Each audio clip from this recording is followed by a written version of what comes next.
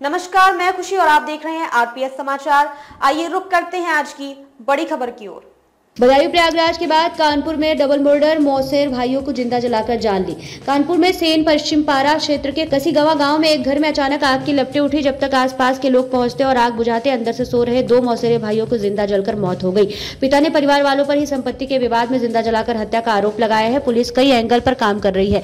मारे गए भाइयों में एक की चार दिन बाद ही शादी भी थी। कसगियवा में प्रेम उर्फ़ बबलू उर्फ़ अपनी पत्नी गौरा, तीन बेटे व दो बेटियों के साथ रहते हैं। घर से करीब डेढ़ मीटर दूर उनके साथ उनके साढ़ का 22 वर्षीय बेटा सुनील उर्फ़ अनिल रहता था। सुनील के माता पिता की कई साल पहले मौत हो चुकी है। प्रेम ने बताया कि सुनील गैस डिलीवरी का काम करता था। उसकी 24 मार्च को शादी थी। बाइक रिपेयरिंग का काम करने वाले 20 वर्षीय मंझले बेटे राज उर्फ़ छोटू से सुनील की काफ़ी पटती थी। मंगलवार रात करीब साढ़े बजे नींद न आने के बाद कहर सुनील कहकर सुनील ने राज को अपने घर बुलाया। रात एक बजे के करीब सुनील के घर आग लगने का शोर मचा।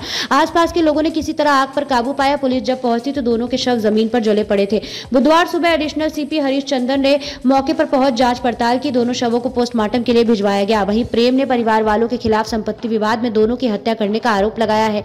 उन्होंने बताया कि इसको लेकर उनका परिवार के दूसरे पक्ष से विवाद भी चल रहा है। पुलिस को तहरीर दी गई है। एडिशनल एस हरीश चंद्र के अनुसार दोनों युवकों की जलकर मौत हुई है। यह हादसा या हत्या दोनों बिंदुओं पर जाँच की जा रही है। पोस्टमार्टम रिपोर्ट में जो तथ्य निकलेंगे, उसके आधार पर कार्रवाई की जाएगी।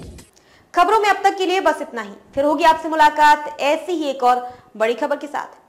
तब तक के लिए नमस्कार और देखते रहिए आरपीएस समाचार। ऐसे ही लेटेस्ट अपडेट्स के लिए हमारे चैनल आरपीएस समाचार को सब्सक्राइब करें और तुरंत नोटिफिकेशन पाने के लिए बेल आइकन प्रेस करना ना भूलें।